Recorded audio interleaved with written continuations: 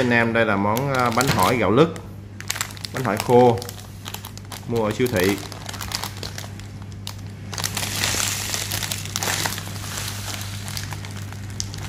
Đây có cách sử dụng đây.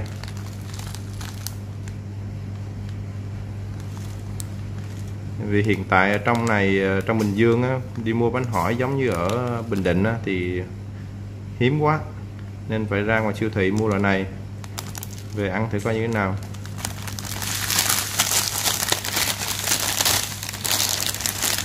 Rồi anh em đón xem coi thì mình làm à, cái bánh hỏi này như thế nào nha.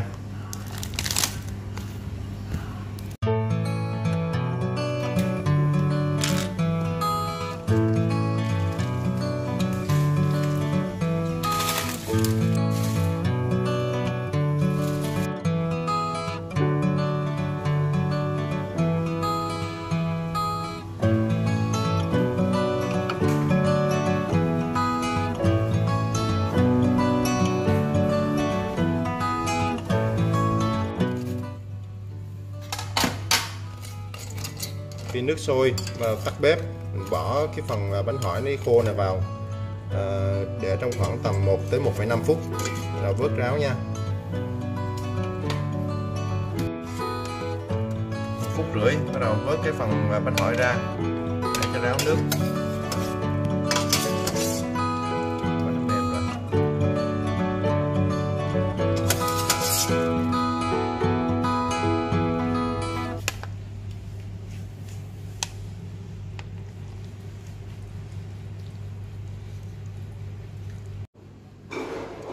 Đây là phần bánh hỏi vừa vớt để ráo.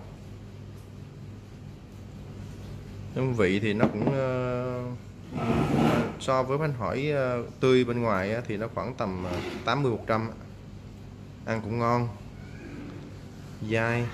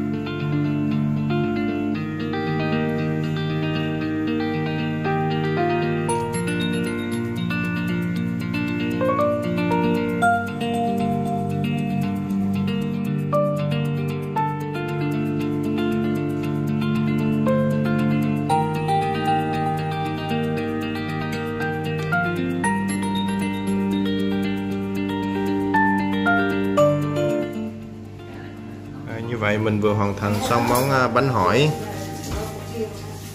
Cháo lòng. Kèm thêm là lòng dồi heo.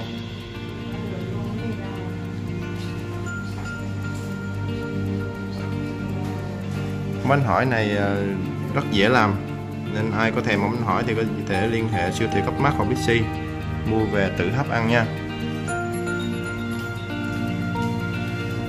Rồi, cảm ơn anh em đã xem clip nha. Chúc anh em ờ, có buổi tối vui vẻ. Và đón xem những clip sắp tới của mình nha.